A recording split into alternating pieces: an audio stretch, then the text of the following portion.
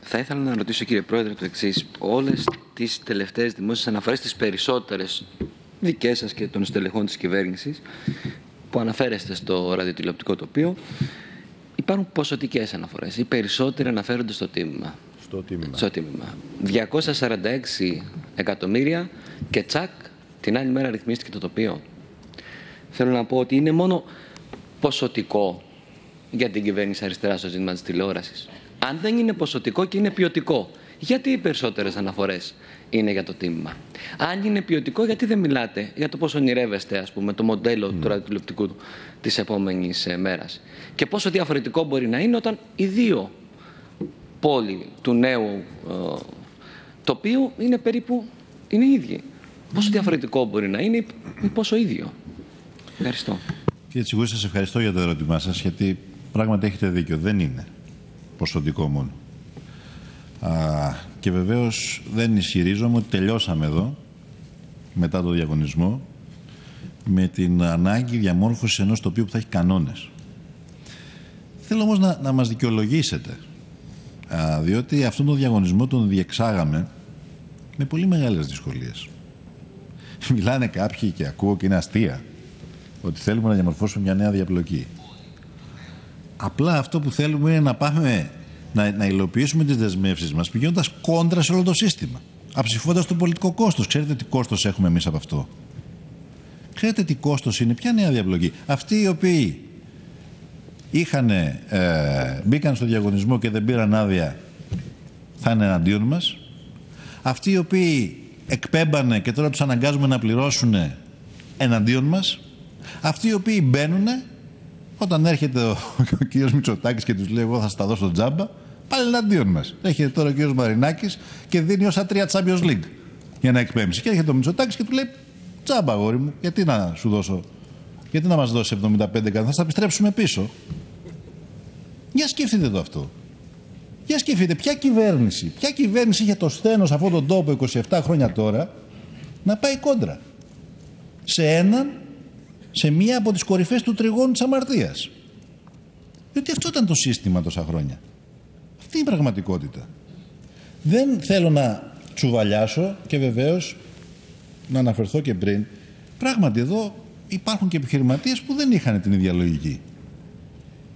Δεν θέλω να τσουβαλιάσω. Υπάρχουν φυσικά και εξαιρέσεις.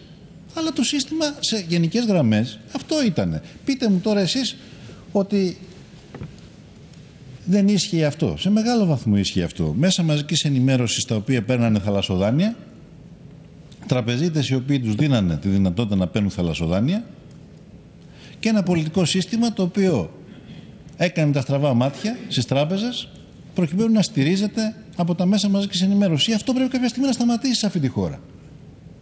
Και να σας πω κάτι, κύριε Τσιγουρή. Όταν ξεκίνησε αυτή η συζήτηση, πίστευα ότι θα έχω σύμμαχο τη Νέα Δημοκρατία και το Μητσοτάκη γιατί είναι ένας νέος άνθρωπος. Και είχε υποσχεθεί ο Μεϊμαράκης ότι θα βγει το ΕΣΟΥΡΟΥ. Και πιστεύω ότι θα το έκανε αν έμενε. Και ο κ. Μητσοτάκης το πρώτο πράγμα που έκανε ήταν να μπλοκάρει το ΕΣΟΥΡΟΥ. Για να στηρίξει ποιους;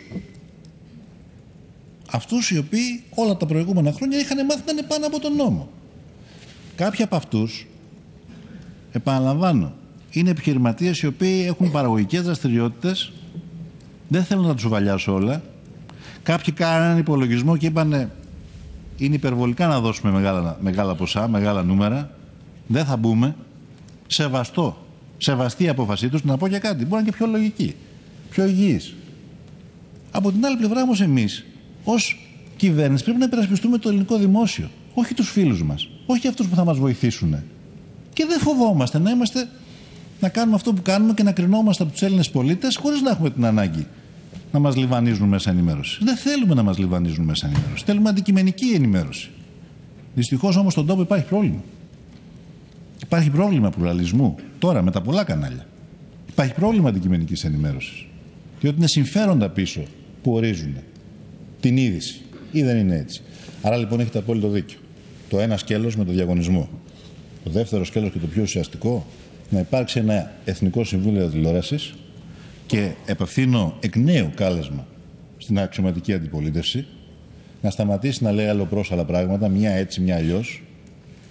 Μία ότι θα, δεν θα αναγνωρίσει το διαγωνισμό, την άλλη ότι θα κρατήσει αυτούς που πήρανε και θα ζητήσει χρήματα για από αυτούς που δεν πήρανε, την τρίτη ότι θα επιστρέψει πίσω τα 250 εκατομμύρια, όπως είπε ο κ. Δένδιας, λοιπόν, να αναγνωρίσει το διαγωνισμό, γιατί είναι νόμος του κράτους, να παραδεχθεί ότι είχε άδικο και ότι ήταν ατόπιμα η υπεράσπιση ιδιωτικών συμφερόντων έναντι του δημόσιου και να πάμε μαζί στον ορισμό Εθνικού Συμβουλίου Ραδιοτηλεόρασης που θα βάλει κανόνες στο ραδιοτηλεοπτικό τοπίο και στους τέσσερις νομίμως λειτουργούντες σταθμούς.